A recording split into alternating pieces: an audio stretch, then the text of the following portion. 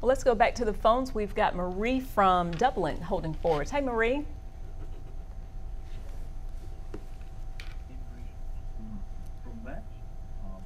Are you there, Marie? May have Yes, to I am. go ahead with your question. My question is, like he was saying, you know, when it's dealing with medical. Okay. Go ahead. Hey, how you doing? I'm good. Go ahead, ma'am. Let us.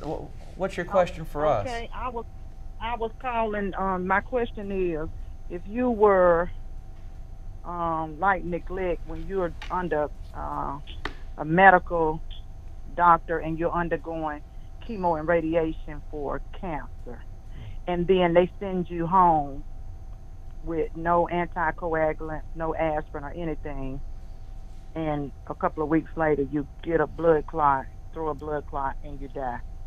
Isn't that a form of negligence on medical part?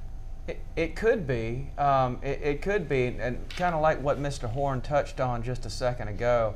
Uh, what it mostly comes down to is whether the doctor, what they did or did not do, was within the quote standard of care. That's the that's the legal buzzword, standard of care, uh, in the community for good medicine, and and in, in that particular field.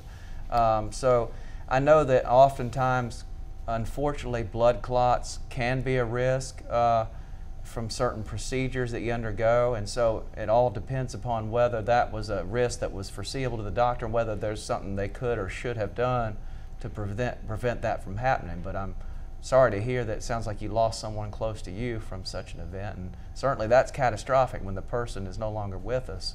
Um, so that certainly falls into what we're talking about tonight, and as we're seeing right away, these catastrophic injuries can take many different forms, like Mr. Horne touched on.